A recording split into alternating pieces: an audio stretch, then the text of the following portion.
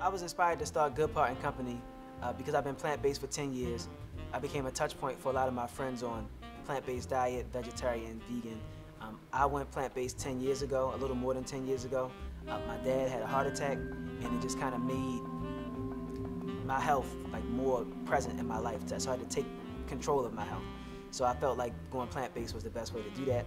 Um, I also wanted to kind of perform the best. Like I played sports and then just always wanted to have like the most energy I could have. So I wanted to go plant-based, improve my energy, improve my health. And the more I did for myself, the more I wanted to share with other people.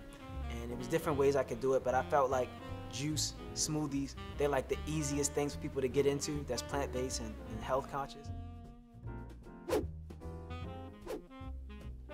What keeps me going is the opportunity to share the benefits of a plant-based diet with somebody who doesn't know anything about it or somebody else who's interested in learning. A lot of people don't know a lot about how the body works, um, how plants and other food sources uh, help and benefit our body. So every day is a new person online, a new person on Instagram, a new person on YouTube looking for information um, about getting healthy, taking back their health, you know, improving their quality of life, starting with their diet. So that really keeps me going because I got a chance to share and help somebody else, you know, improve their health in the way that they live.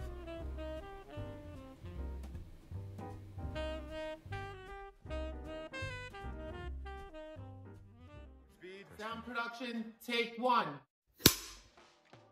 I'm Quintel Harcum, founder and owner of Good Part and Company, plant-based health cafe, juice bar, and lifestyle brand. Our cafe is located at 3400 North Charles Street on the Johns Hopkins Homewood campus inside of the Ralph O'Connor Recreation Center.